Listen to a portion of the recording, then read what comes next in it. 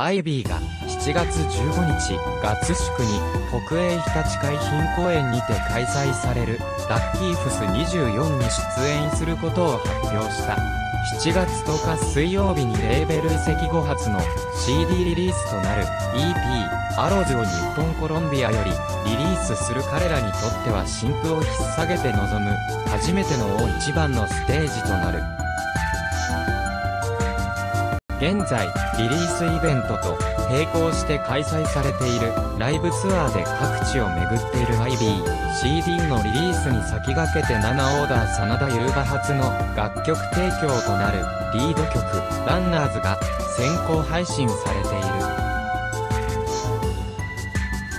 ーズには2024年中から12月に3ヶ月連続デジタルシングルとしてリリースされたWhite Snow、Whatcha Gonna Do、The Way I Am をはじめ先行配信中のリード曲 Runners に加え雷鳴、 Seventh Heaven、You're an Angel、One Love の計7曲が収録される。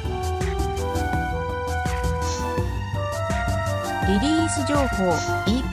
Arrows 初回盤 CD ブルーレイ通常版 CD オンリー2024年7月10日水曜日リリース品番星 P-42293 通常版 CD オンリーコズップ -2108 から9初回版 CD ブルーレライブイベント情報。IB ライブツアー2024ランライクアローズ2024年7月7日。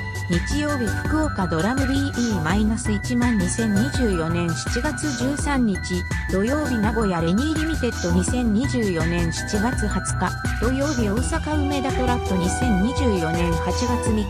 土曜日東京神田スクエアホール。各公演の詳細は IB オフィシャルサイトをご参照ください。